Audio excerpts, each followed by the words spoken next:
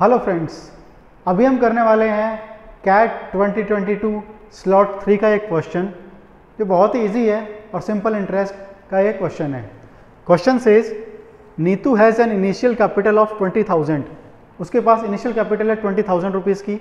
She invest 8,000 at 5.5 percent in bank A 5,000 at 5.6 percent in bank B and the remaining amount जो 20,000 में से 8,000 और 5,000 हटाने के बाद बचेगा। तो वो हमारे पास बचेगा 20,000 minus eight thousand minus five thousand which is equal to seven thousand. तो सेवन थाउज़ेंड इन्वेस्ट किया है उसने एक्स परसेंट से बैंक सी में each rate being simple interest per annum her combined annual interest income from this investment is equal to five percent of the initial capital यानी कि जो total interest income आई है वो five percent of the initial capital है।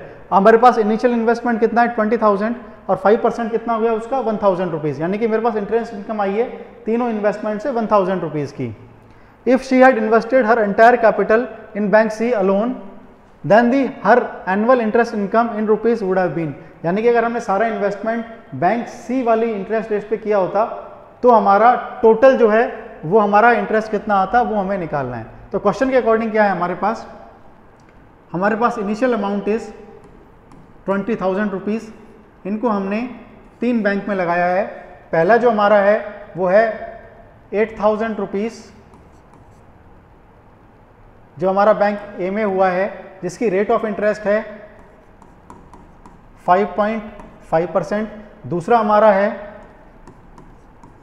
Five thousand rupees जो है हमारा 5.6 परसेंट के हिसाब से। ये है हमारा बैंक बी और हमारा बैंक सी जो है उसमें कितना इन्वेस्टमेंट है? जो बचा हुआ इन्वेस्टमेंट है। तो 20,000 minus eight thousand minus five thousand ये कितना हो गया हमारे पास? टोटल 7,000 तो सी में इन्वेस्टमेंट हुआ 7,000 का मैं मान लेता हूँ उसकी rate of interest X percent है। तो टोटल इंटरेस्ट इनकम कितनी है मेरे पास? ये कहा गया है total interest is five percent of the initial capital तो 20,000 मेरे पास अगर इनिशियल इन्वेस्टमेंट है और उसका जो इंटरेस्ट इनकम है टोटल वो आई है मेरे पास फाइव परसेंट तो 20,000 का 5 परसेंट मेरे पास होता है 1,000 इसका मतलब तीनों का सम निकाल के मेरे पास जो इनकम आनी चाहिए वो आनी चाहिए मेरे पास वन थाउज़ेंड रुपीज़ तो इससे इंटरेस्ट इनकम हो जाएगी। अगर मैं एट थाउज़ेंड को 5.5 परसेंट के हिसाब से देखता हूँ तो मेरे पास interest income for one year will be equal to four forty rupees इसकी इनकम हो गई 440 इसकी हो जाएगी हमारे पास five thousand rupees five point six percent के हिसाब से।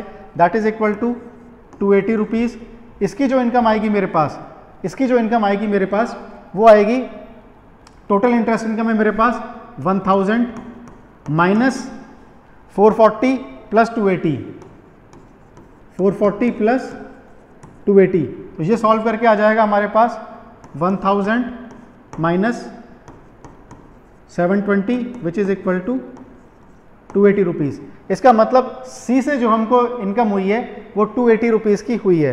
अब हमें निकालना है एक्स की वैल्यू तो ऑब्वियसली आप देख सकते हैं कि सेवन थाउज़ेंड पे अगर टू एटी रुपीज़ हमको इंटरेस्ट चाहिए तो ऑब्वियसली ये हमारा फोर परसेंट हो जाएगा। सेवन थाउज़ेंड का फोर परसेंट टू एटी अगर आपको ऐसे कैलकुलेट नहीं कर पाते हैं तो कोई इशू नहीं है। हम क्या कर सकते हैं इस केस में? यहाँ पे हम टू एटी रुपीज़ का हमारे पास इंटरेस्ट है। प्रिंसिपल है हमारे पास seven thousand rupees rate of interest हमें निकालनी है विच इज़ हमारे पास यहाँ पे है rate of interest X into time period one year divided by hundred इसको सॉल्व करेंगे हम। सॉल्व करके हमारे पास एक्स की वैल्यू आ जाएगी फोर परसेंट यानी एक्स की वैल्यू हमारे पास फोर परसेंट आ गई है। तो ये हमारे पास सी पे जो रेट ऑफ़ इंटरेस्ट है, वो हमारे पास फोर परसेंट का है। अब हमको बताना है, अगर टोटल इन्वेस्टमेंट जो ट्वेंटी थाउज़ेंड रुपीज़ का है अगर वो फोर परसेंट पे इन्वेस्ट किया होता तो हमारा इंटरेस्ट कितना आता? तो ऑब्वियसली ट्वेंटी थाउज़ेंड का फोर परसेंट जो होता है, वो हमारे पास एट हंड्रेड रुपीज़ होता है। अगर आपको नहीं निकालना तो सिंपल सा फॉर्मूला भी है। ट्वेंटी थाउज़ेंड का four percent that is equal to इसको इससे सॉल्व कर देंगे तो ये आ जाएगा मेरे पास एट हंड्रेड रुपीज़ तो इसका मतलब ये हो गया कि अगर टोटल अमाउंट मेरे पास फोर परसेंट से इन्वेस्ट होता तो इंटरेस्ट इनकम आती 800 की। ये सिंपल सा एकदम क्वेश्चन था, जो कैट लास्ट ईयर 2022 में पूछा गया है, और ये स्लॉट थ्री का हमारे पास एक क्वेश्चन था। आपको फिर भी क्वेश्चन में अगर कोई डाउट होता है कैट्स रिलेटेड कोई भी डाउट होता है तो डेफिनेटली आप कमेंट सेक्शन में पूछ सकते हैं।